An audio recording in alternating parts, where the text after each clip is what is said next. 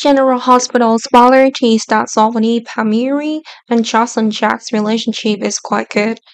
They may even start to fall in love, but Trina Robinson will also put a foot in Josslyn and Zol's relationship. Fans have seen actor Zolvini Mazza confidence.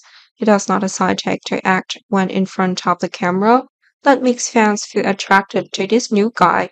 Some fans hinted at how they love to see Mazza reprise his role as Cameron Webber.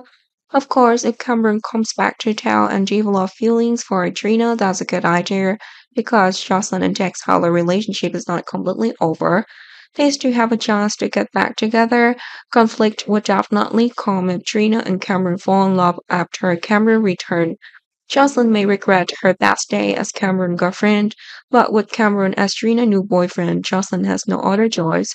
Confronting Trina to win back Cameron is what Josslyn would do. If she fails, Josslyn's only choice to go back to Dex or stay single.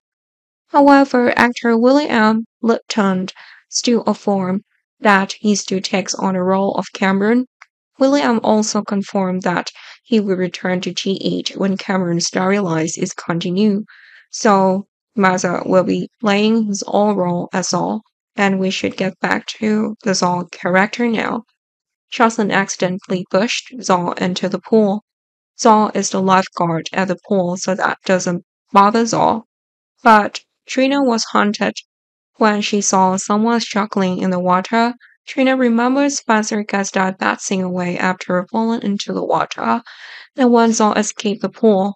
Trina was emotional again and remembered the old feeling because Zol is now quite similar to Spencer. Of course, Trina approaches Zol and that makes Trina miss Spencer more. After talking with Zol, Trina realizes Zol is not the Spencer that Trina was looking forward to seeing again.